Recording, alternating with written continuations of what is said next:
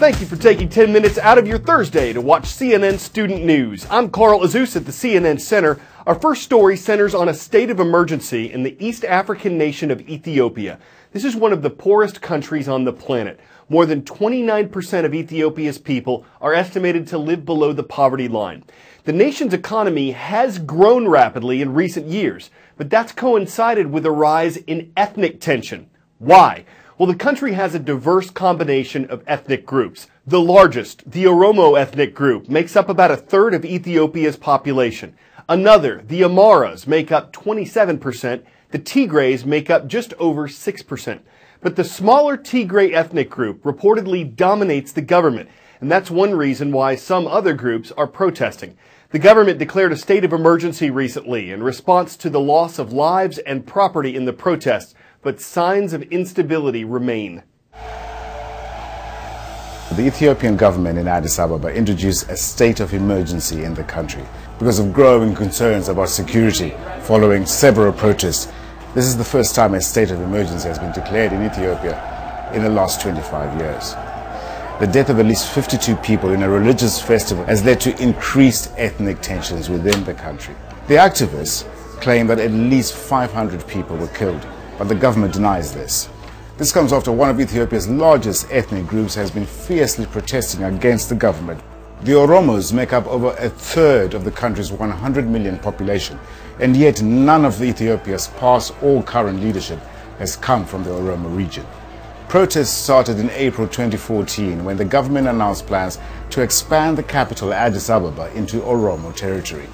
Although the government abandoned these plans, the protests have snowballed.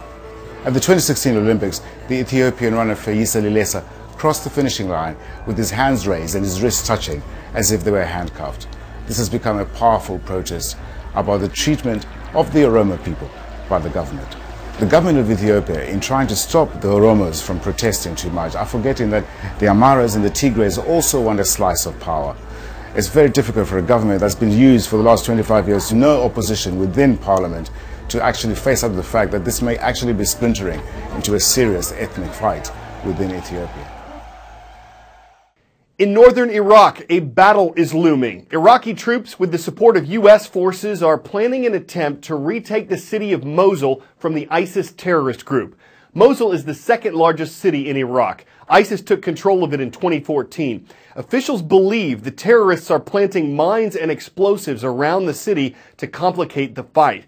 The lasting damage that ISIS has left in towns near Mosul could be a sign of what's to come. A lake of fire, thick black clouds obscuring the sun in the town of El Gayara, south of Mosul. ISIS set this oil well on fire months ago. The purpose was to obscure the view of aircraft overhead. But ISIS is now gone, and this fire continues to burn right on the edge of a town in which many people are now living.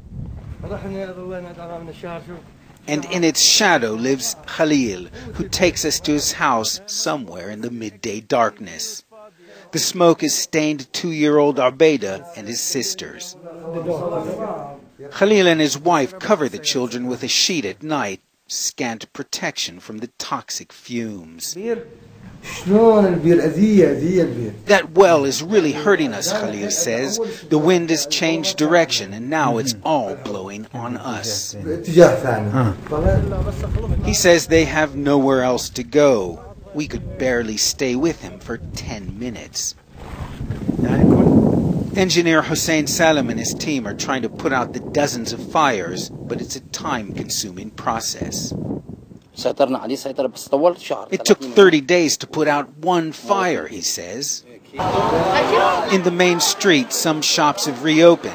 Also here, the smoke hangs heavily on residents. It's another ISIS, says Charlene. It's cancer. Daesh, as they call ISIS here, left behind a poisonous legacy of death, destruction, and disease. The World Health Organization, part of the United Nations, is asking governments worldwide to put a new tax on sodas. It wants soft drink prices increased by at least 20%. Public health experts say sugar, like what's found in many soft drinks, is mostly to blame for rising global obesity rates. The WHO says 39% of the planet's adults were overweight in 2014 and that a new tax on sugary drinks would prevent obesity and diabetes and cut healthcare costs. But would higher prices mean lower calorie choices when people want something to drink? That seems to be true in some places, like the city of Berkeley, California. A voter approved tax there reportedly led to a 21% drop in the consumption of sugary beverages. But results haven't been the same everywhere. The nation of Mexico put a 10% tax on sugary drinks in 2013, and the Wall Street Journal reports that those sales decreased at first, they started rising again recently. The U.S. beverage industry says that the Mexican tax put a burden on those who could least afford it and that it caused thousands of jobs to be lost in Mexico's soft drink industry. Up next, science and agriculture. Some researchers are looking beyond pesticides, beyond genetically modified seeds. Instead, they're literally coating seeds with bacteria in the pursuit of growing more crops and better crops. The process is still being tested. It's not definitively proven to work. There are still questions about safety for consumers. But one of the companies testing microbiomes believes they're the future of agriculture. How are we going to feed what is estimated to be 10 billion people by 2050? To get there, we need to increase our current productivity by about 70%. The ability to achieve that with our current rates of genetic gain and yield improvement are not achievable. And so we need to look for new ways. We also need to do it in a way that's sustainable. For decades, innovations in agriculture have allowed our food supply to keep pace with population growth. But at what cost? The technologies that have given rise to the productivity improvements we've seen in agriculture are generally things like agricultural chemicals, chemical fertilizers, things that arguably aren't good for us and aren't good for the planet. What if there was a better way? A startup called Indigo is attempting to create a more productive and more natural way to grow crops without the agricultural chemicals, a method that could revolutionize the industry. We attempt to solve that problem by harnessing the plant's natural microbiome. The microbes that evolved over millennia, really, to improve the health of plants.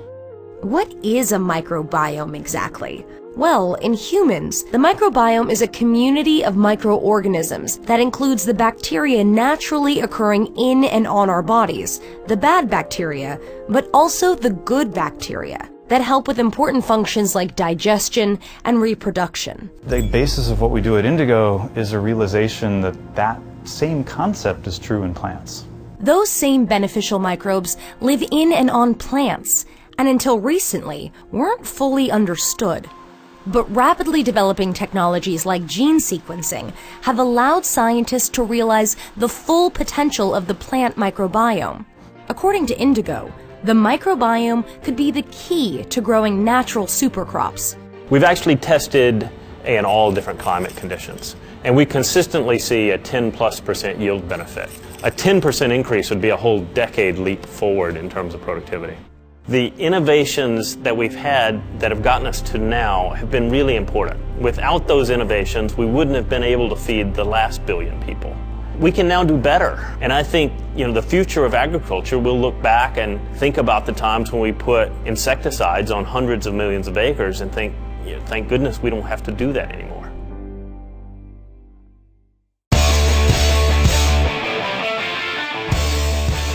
Officials in Little Rock, Arkansas called their city's Broadway Bridge structurally deficient. This is how it got revenge.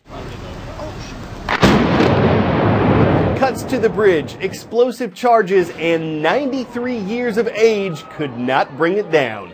Officials are working to replace the structure, but they needed to remove it first. It took six more attempts, pulling the bridge with cables from two towboats before the steel finally came crashing down. Makes you wonder why they don't make all bridges this tough. After all, its strength spanned decades. All that time it could be trusted. Even though gravity was its arch enemy, it took blasts and boats to cause the causeway to give way, and all that actually happened over several hours. You just saw the abridged version. I'm Carl Azuz. We're back tomorrow.